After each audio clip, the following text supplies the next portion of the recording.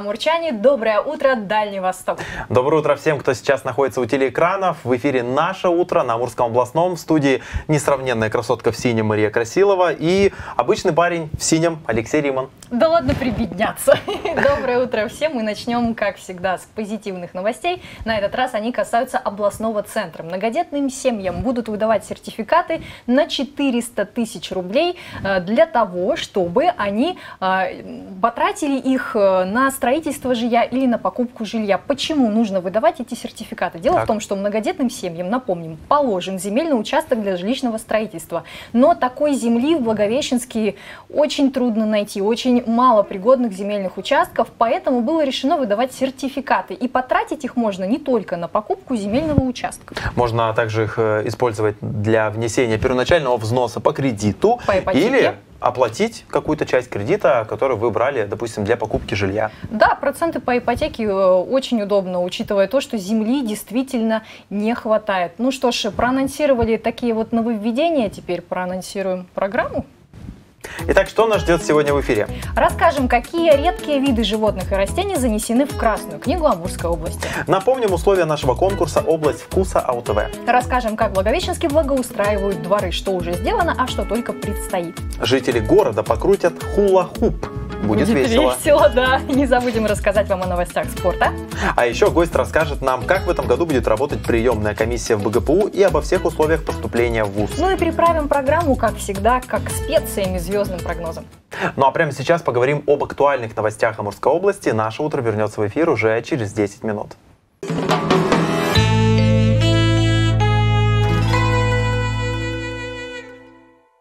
Наше утро продолжается. Сегодня у нас на календаре уже 23 июня. Казалось бы, только вчера встречали лето, а уже провожаем первый месяц. Ну что, какие у нас праздники сегодня? Да, праздников сегодня очень много. Можно, как говорится, разгуляться. Ну, начнем с того, что сегодня Международный Олимпийский день.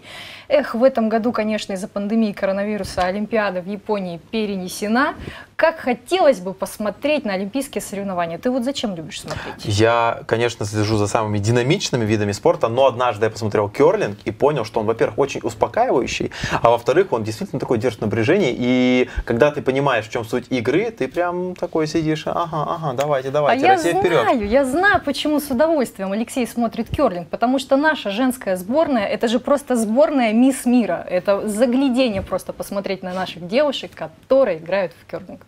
Что у нас сегодня еще по празднику? Сегодня еще день балалайки. Вот мне кажется, если был бы э, в Олимпийских играх такой э, вид спорта, как игра на балалайке на скорость, русские бы занимали первое место, потому что это наш народный инструмент. Поэтому всех, кто когда-либо учился или умеет играть, мы поздравляем с этим праздником. Кстати, поздравляют не только балалайшников, но и всех тех, кто играет на русских народных инструментах. Это и ложечники в том числе.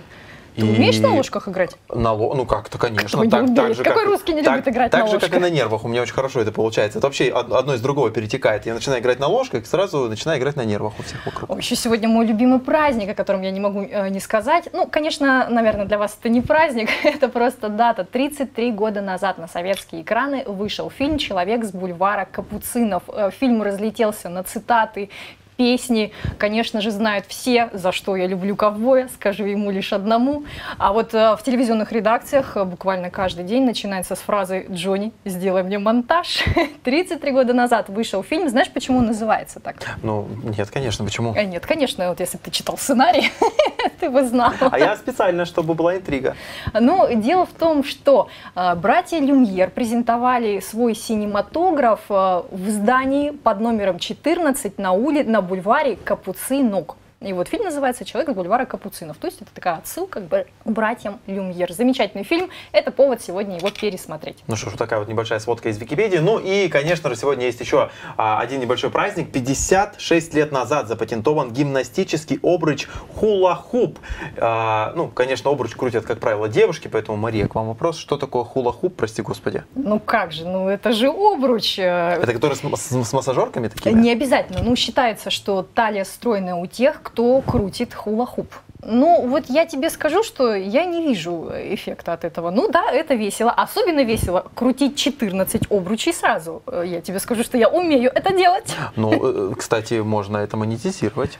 А каким образом? Пойти куда-нибудь работать в цирк или выступать на мероприятиях. Но не об этом. Это тебе расскажу за эфиром. Давайте сейчас мы лучше вспомним, какие события происходили в Амурской области в этот день, в рубрике «День, э, день в истории». Ну а тебе сейчас, значит, смотри. Берешь?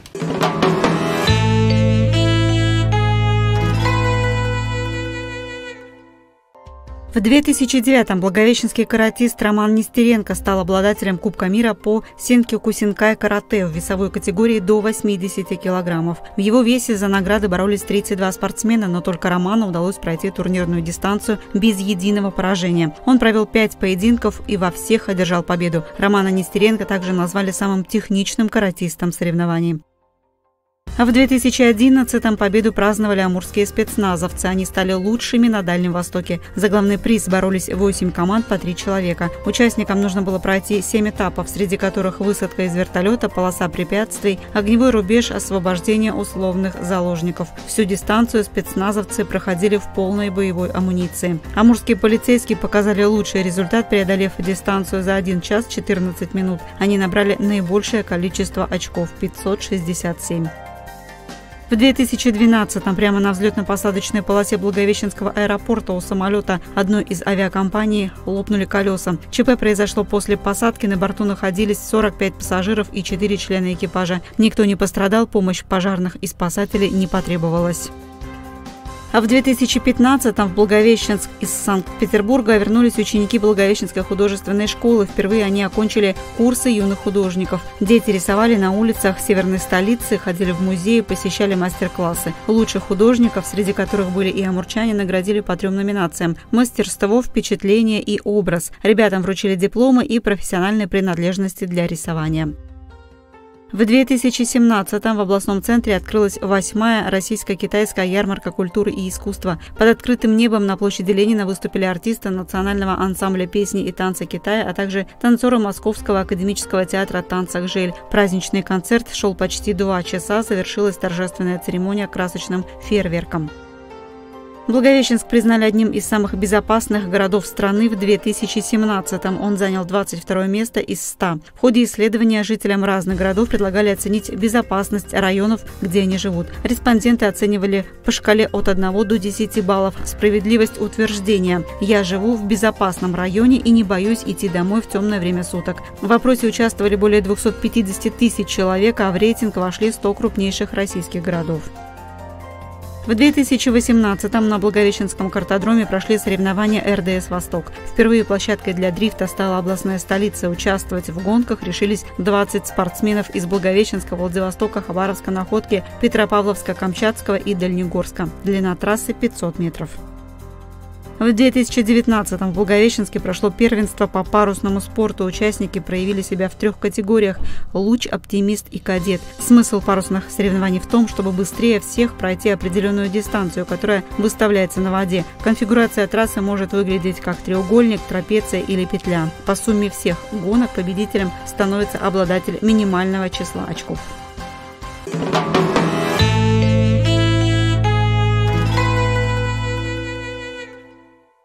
244 миллиона на 11 муниципалитетов. В Приамуре продолжается реализация национального проекта, который называется «Жилье и городская среда». Большая часть средств на благоустройство выделена из федерального бюджета. Собственно, куда пойдут деньги? Деньги пойдут на ремонт придомовых территорий, а также общественных пространств. В Благовещенске, например, все работы уже практически завершены. В четырех дворах э, сейчас э, что-то ремонтируют, красят. Но ну вот более подробно об этом расскажет наш корреспондент Ольга Сысой.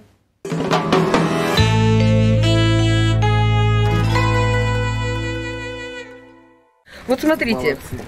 вот остались вот эти вот канавки. Я им вчера говорю, ребята, это же можно отсыпать земелькой.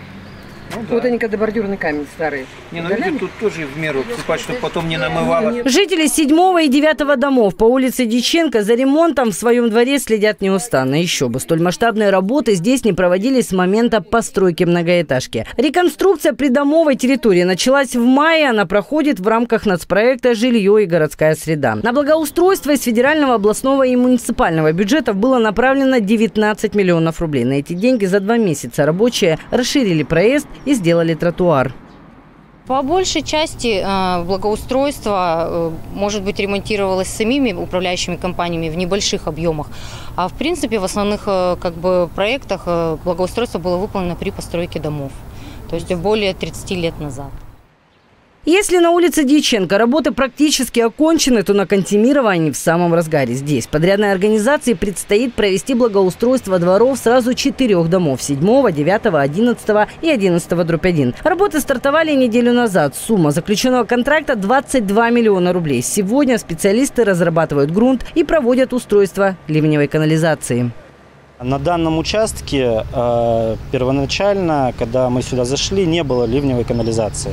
Сейчас по проекту предусмотрена ливневая канализация, которая из дворовых территорий будет э, воду э, сбрасывать в магистраль по Кантемирово. Ну а дальше уже с магистрали распределяться по всей ливневой канализации. А, насколько она будет справляться, это ну, покажет время. А так, я думаю, все будет зависеть от ливневой канализации магистрали, которая проходит по Кантемирово. Представитель подрядчика пояснил, эти дворы будут выполнены в тротуарной плитке. Покрытие толщиной 5 сантиметров. Проезжую часть делают из усиленной плитки, толщина которой 8 сантиметров, так как именно на нее ложится большая часть нагрузки. Кроме того, для жителей домов будет обустроена парковка. Закончить все работы должны уже в конце июня. По словам исполняющего обязанности министра ЖКХ области Алексея Тарасова в Благовещенске, в этом году благоустроят 24 двора. Для этого уже заключены 10 муниципальных контрактов. Их стоимость более 100 миллионов рублей. Общая же сумма финансирования на этот год составила 118 миллионов. Заявки на участие в программе подают сами жители. Мы очень рады, что такая активность, то что ежегодно увеличится количество дворов, которые желают принять участие. Это говорит о том, что мы не безразличны к тому, в каком городе мы живем, какая окружающая среда вокруг нас, да, на каких площадках э, играют наши дети и так далее, и так далее. Нацпроект «Жилье и городская среда» реализуется в Преамуре с 2017 года. В этом году в 11 территориях области будет благоустроено 42 дворовых территорий и 10 общественных пространств. На эти цели из федерального, регионального и муниципального бюджетов выделено почти 244 миллиона рублей. Ольга Сосой, Михаил Величкин. Амурское областное телевидение.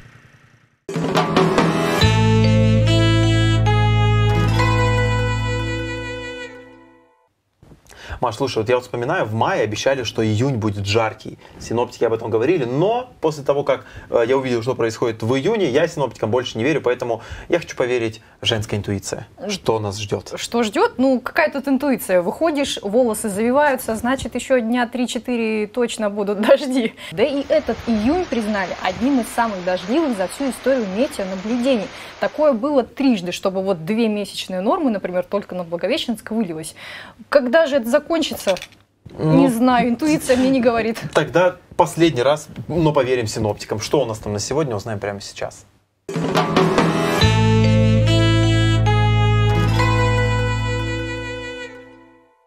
Маш, нам вот с телезрителями не дает покоя э, тот факт о тебе, что ты умела крутить э, или умеешь до сих пор, я даже в этом не сомневаюсь. 14 обручей, как так? Ну, наверное, ты думаешь, что я их просто вот так вот подряд 14 вот так вот надеваю, но на самом деле это не так. То есть это один должен быть на шее, можно три на одной руке, три на другой руке, и остальные распределяешь по телу. Они, конечно же, падают, ты нервничаешь, потом пытаешься поднять ногой еще один, но это вообще очень увлекательно. Я вот, если у вас есть вдруг так много обручей, попробуйте. Приглашайте Машу домой, она, она покажет вам мастер-класс. А смогут ли жители Благовещенска прокрутить хотя бы один? Мы поспрашивали у людей на улице, и не просто поспрашивали, а даже проверили, и давайте посмотрим, что из этого получилось.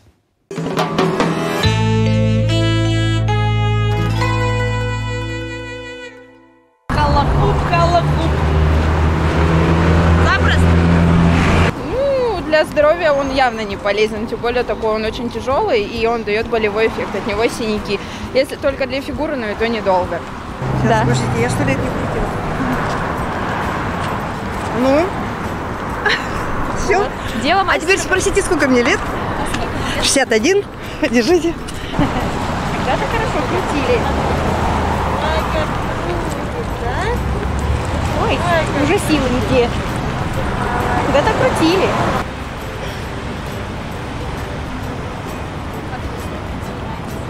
Кандидат мастера спорта по кикбоксингу. Боевые искусства. Сейчас на бокс ушла. А вы сколько можете крутить? Вот просто и женщина А, очень долго, да. Потому что это любимое мое занятие. Вот таким вот образом. Пожалуйста. Ну, хорошо.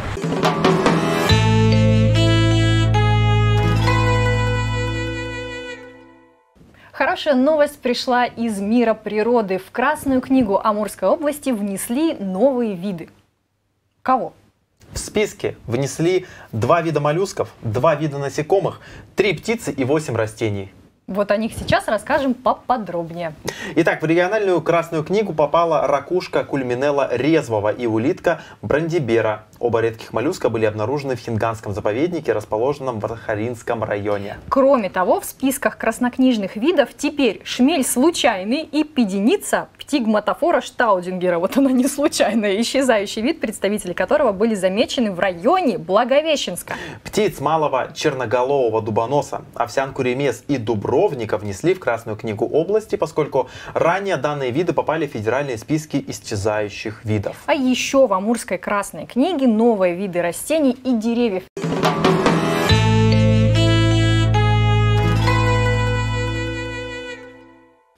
Впереди в нашем эфире нас ожидает гороскоп и общение с интересным гостем, а также новости спорта. Но сперва предлагаем посмотреть новости Амурской области. Оставайтесь с нами и не переключайтесь.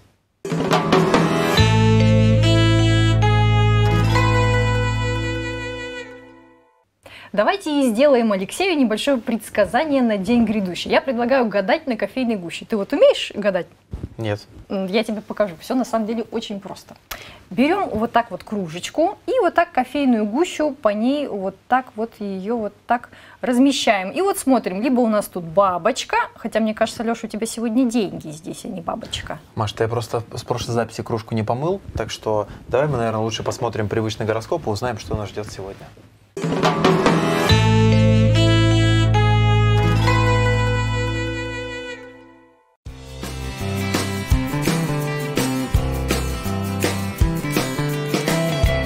Гороскоп на 23 июня. Овны. Сегодня необходимо сделать важный выбор. То ли податься чувствам, то ли к разуму прислушаться. Главное, не принимайте к сведению все, что вам говорят друзья. Самостоятельное решение. Вот что вам нужно. Удачный день для исполнения финансовых желаний. Тельцы. Вам хочется всех пожалеть и помочь. Такие чувства – большая редкость. Возможно, у вас наладились дела, и вы включили на полную мощь воображения. Кстати, оно и поможет определить, насколько вас любят. Близнецы. От финансовых операций лучше отказаться. Это небезопасный день для вложений и переводов, возможны обманы и убытки. Зато в амурных делах однозначно повезет. Вечер можно посвятить увлечению. Раки. Серьезные неприятности обойдут стороной бизнесменов, особенно начинающих. Если в семье сохраните мирную и добрую обстановку, то она продлится надолго. Стоит попробовать. Львы, вам следует доверять свои тайны только самым близким людям. Никаких друзей и товарищей, если дело касается личных и финансовых вопросов. Тем, кто заболел, не стоит игнорировать рекомендации врача. Самолечение может привести к обострению. Девы, вам будет мало целого дня, чтобы выполнить все задуманное. Но если без лишней суеты и раздражительности ко всему относиться, то успех обеспечен. Возможен упадок сил, поэтому пейте соки и кушайте фрукты. Весы. Необходимо копить энергию, а не тратить имеющиеся резервы. Появится возможность воплотить многое. На полный релакс и уход от проблем не рассчитывайте. Всегда найдутся срочные дела. Скорпионы. В материальном смысле удачный день. Вы можете получить проценты от вложений или премию на работе. Вечером необходимо сосредоточиться на личных проблемах. Временная пауза или расставание. Стрельцы. Благоприятный день. Вас ничто не может разочаровать и обидеть. Возможен приступ ярости в разговоре с другом. Без скандала. Уйдите по-английски. Порядок в офисе поможет найти потерянные документы. Козероги. Все тревоги и сомнения развеются, как дым. Ваши труды не прошли даром, и вознаграждение вполне заслужено. Найдите время для отдыха, иначе надорветесь. В семейной жизни замкнутый круг. Выбраться можно только вдвоем. Водолеи. Звезды обещают урожайный день, что придаст равновесие и избавит от самоиронии. Приближается время ярких перемен. Не пропустите этот судьбоносный момент. Аккуратнее отнеситесь к документам. Возможно, придется вносить коррективы. Рыбы. Сегодня вы будете заниматься чем-то ужасно скучным и бестолковым. И все потому, что вы сами отказались от сложных заданий. Утопаете в рутине. Убегайте от сплетен. Не принимайте участие в таких предприятиях.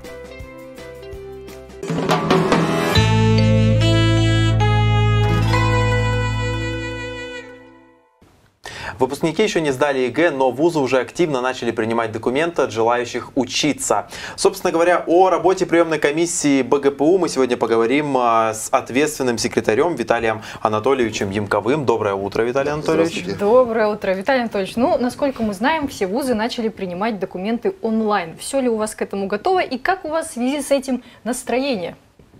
Ну, с 20 числа мы уже начали прием документов в дистанционном формате.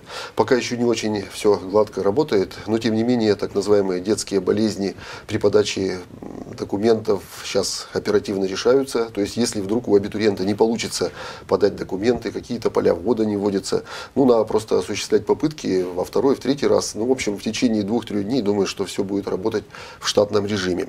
Кстати, как подать документы? Сейчас многих это интересует более чем как. Для подачи документов надо зайти на главную страницу педуниверситета БГПУ, открываем, и там находим ссылочку «Электронная подача документов».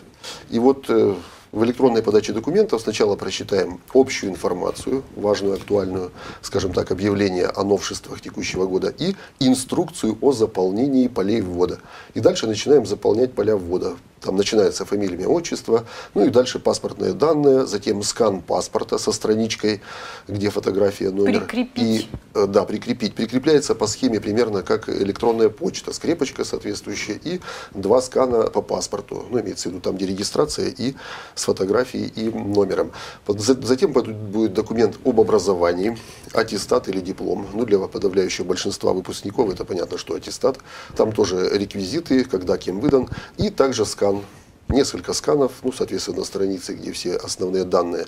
Ну и дальше там генерируется заявление. Заявление необходимо будет скачать, заполнить вручную две странички, подписать и как раз вот эта подпись будет вместо так называемой электронно-цифровой подписи, угу. поскольку сейчас много разговоров идет, что необходима электронная подпись. Электронная подпись полноценная, она э, заказывается в госуслугах, соответственно, и за нее еще необходимо заплатить там, от время. полутора тысяч. Э, да и деньги, и время, да. А здесь как бы вот э, заменителем этой подписи будет обычная подпись на бумаге, но скан соответствующего заявления с подписью будет означать, что это все-таки документы, имеющие юридическую силу.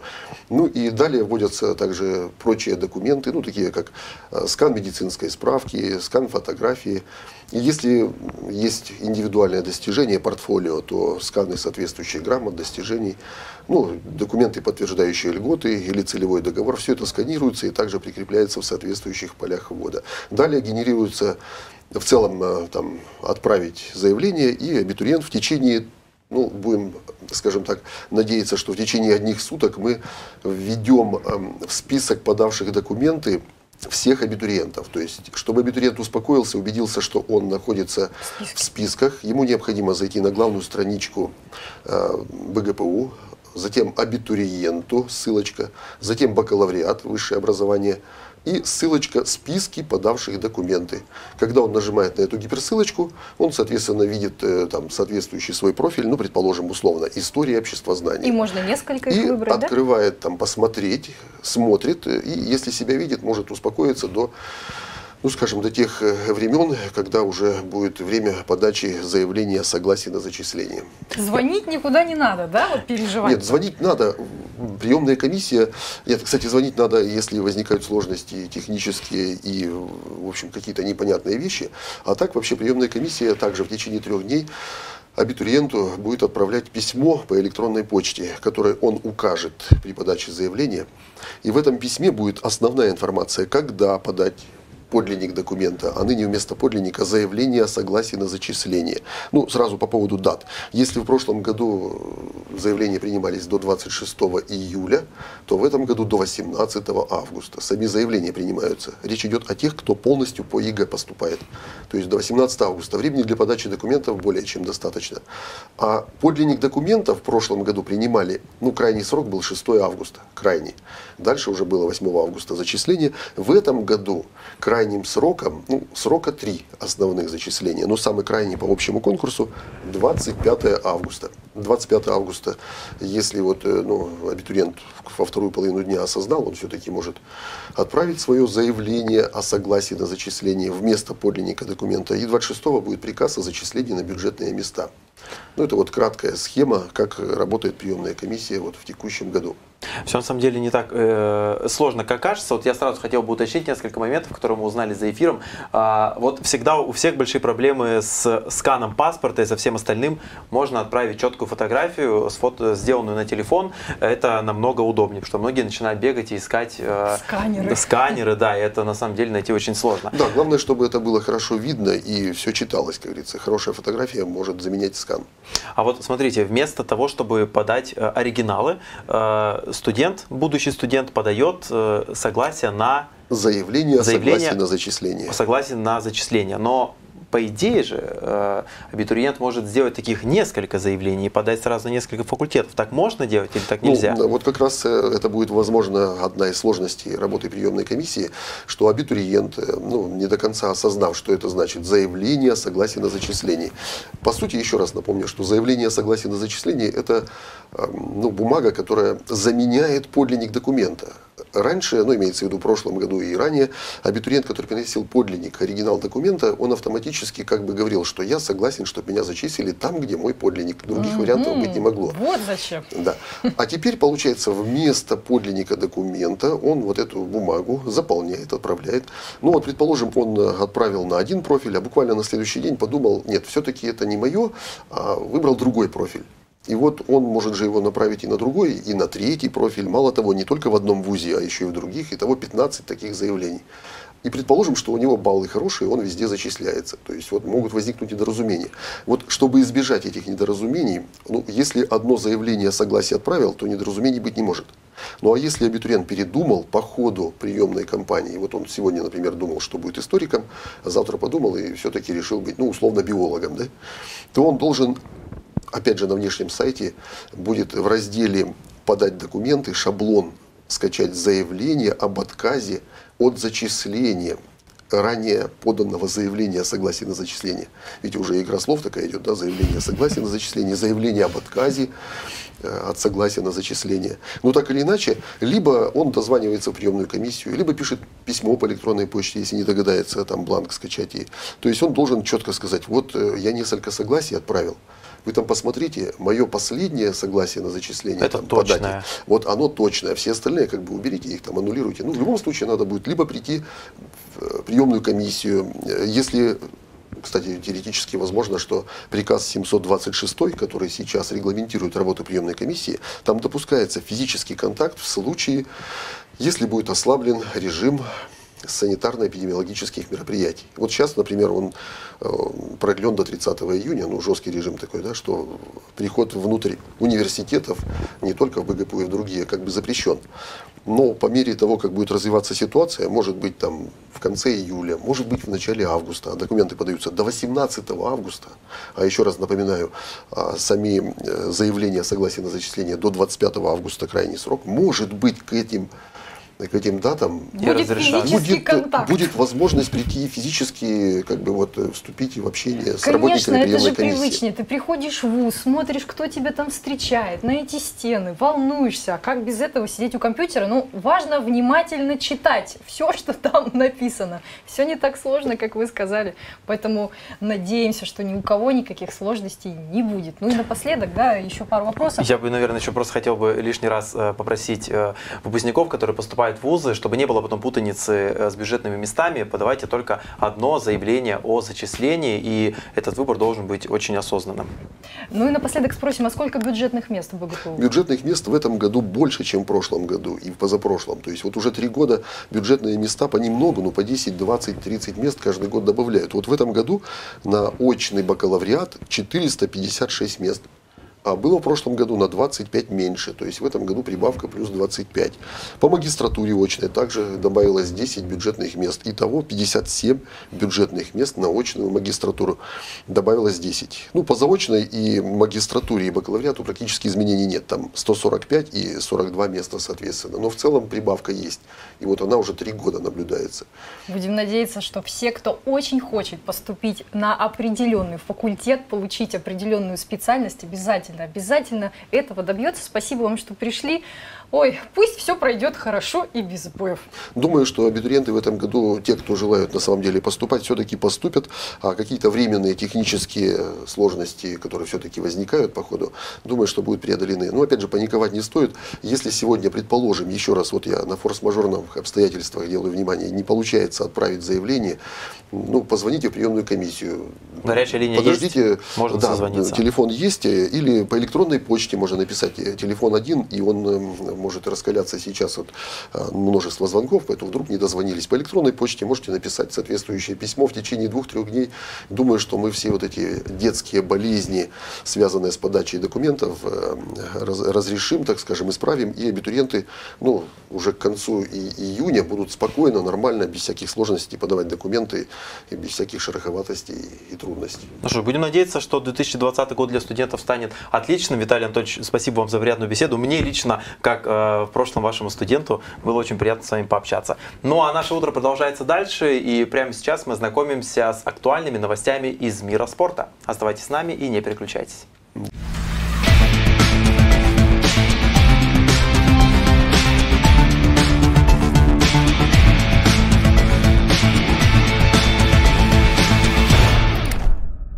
Здравствуйте, область спорта в эфире, в студии Алексей Шевченко. В Благовещенске по-прежнему действуют ограничения на проведение спортивных соревнований. Вынужденную паузу используют на обновление спортивных сооружений. Бассейн «Надежда», спорткомплекс «Юность» и спортзона 16-й школы. На этих объектах побывали представители городской администрации. Кстати, в этом году на ремонт существующих и строительство новых площадок из бюджета областной столицы направлено более 42 миллионов рублей. Комплексный ремонт бассейна «Надежда» стал самым масштабным за последние 11 лет. В спортшколе, которая, кстати, в прошлом году вошла в сотню лучших российских учреждений дополнительного образования, занимается около полутора тысяч мальчишек и девчонок. На ремонт объекта из городского бюджета выделено более 7 миллионов рублей. Уже выполнено почти 50% задуманного. Полностью завершены все демонтажные работы. Здесь будут установлены новые стартовые тумбы, о которых мечтают наши обучающиеся. Полностью заменено а, полотно, установлено а, новое подводное освещение, а, новое освещение на чаше бассейна. И, соответственно, конечно же, будет уложена новая плитка, входные дорожки. Все будут, соответственно, с новой плиточкой. Более комфортными и разнообразными станут уроки физкультуры и в 16-й школе. На территории учебного заведения строят новый стадион. Помимо футбольного поля здесь появятся беговые дорожки, а также баскетбольная и волейбольная площадки. Общая стоимость проекта почти 32 миллиона рублей. А в спортзалах 2 и 5 школ обновят напольное покрытие, стены и потолки. У нас раздевалки отдельно, на них отдельные сметы. И вот еще есть малый спортзал, который тоже хотелось бы комментировать. Реконструируют и спорткомплекс «Юность», где необходимо обновить искусственное покрытие футбольного поля и раздевалки. А благодаря уже смонтированной вокруг поля и внутри спортзала новой системе освещения, проводить здесь соревнования и заниматься спортом можно будет и вечером. А совсем скоро на территории спорткомплекса появится и площадка тестирования норм ГТО. Евгений Вдовенко, Андрей Белый, Амурское областное телевидение.